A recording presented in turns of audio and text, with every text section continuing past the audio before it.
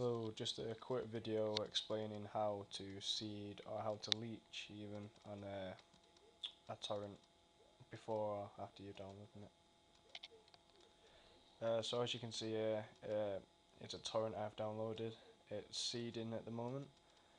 Um, it's normally the rule of thumb after you've downloaded something to seed the amount that you've downloaded just to be fair.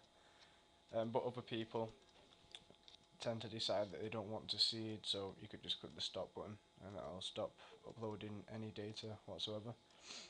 And you can also control the speed at which you upload data.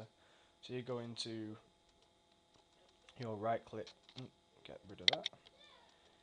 You right click the torrent go down to bandwidth allocation and go to set upload limit. I've currently got mine at 1 kilobyte a second just to uh, demonstrate this. Although you can go all the way up to, I'm sure it's, you can select up to about 500 or just click unlimited, uh, which obviously is unlimited. Um, you can do the same with the download limit, which I don't really see the point of. Um, but yep, so that's all you need to know.